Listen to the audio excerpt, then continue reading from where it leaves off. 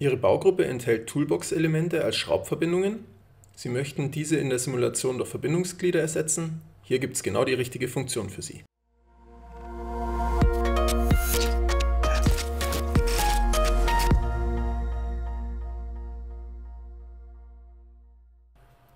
Mein Name ist Martin Konrad und in diesem Video möchte ich Ihnen zeigen, wie Sie Toolbox-Verbindungen, wie diese Schraube-Mutter-Verbindung, automatisiert für Ihre Simulationsstudie in virtuelle Verbindungsglieder umwandeln können.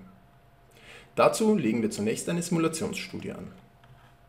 Sobald Toolbox-Elemente in Ihrer Baugruppe vorhanden sind, haben Sie eine Checkbox zur Verfügung, mithilfe derer Sie Toolbox-Verbindungselemente automatisch in Bolzenverbindungsglieder bzw. allgemeinen Verbindungsglieder umwandeln können. Wir möchten das an dieser Stelle noch nicht tun, sondern das Ganze manuell durchführen. Deswegen legen wir die Studie zunächst an.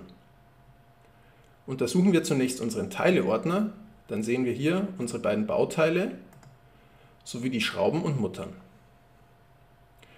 Nun wollen wir den Befehl ausführen. Dieser befindet sich per Rechtsklick auf Verbindungen unter Toolbox Verbindungselemente als Bolzen.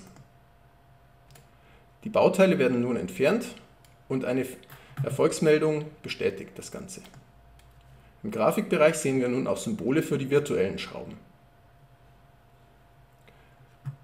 Wir sehen nun im Teileordner einen Unterordner mit automatisch konvertierten Toolbox-Verbindungselementen. Hier befinden sich nun unsere Körper und diese sind nun von der Analyse ausgeschlossen.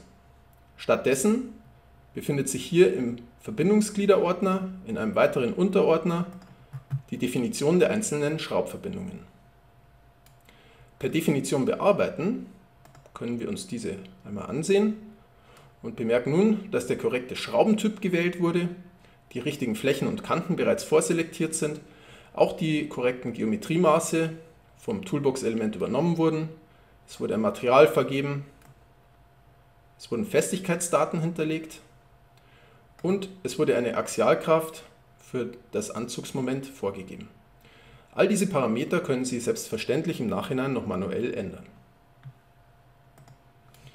Sie sehen, durch die Verwendung von Toolbox-Verbindungselementen und die automatische Konvertierung sind virtuelle Verbindungsglieder mit diesem Befehl sehr schnell umgesetzt.